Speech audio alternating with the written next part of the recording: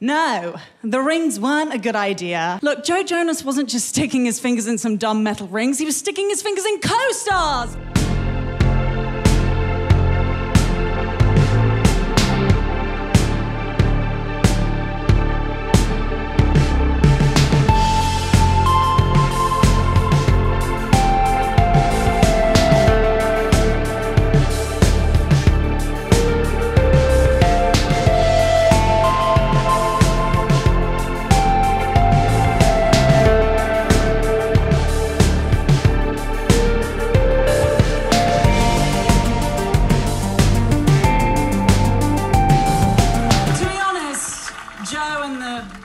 Purity ring thing was kind of like a modern day Cinderella. I mean, Joe.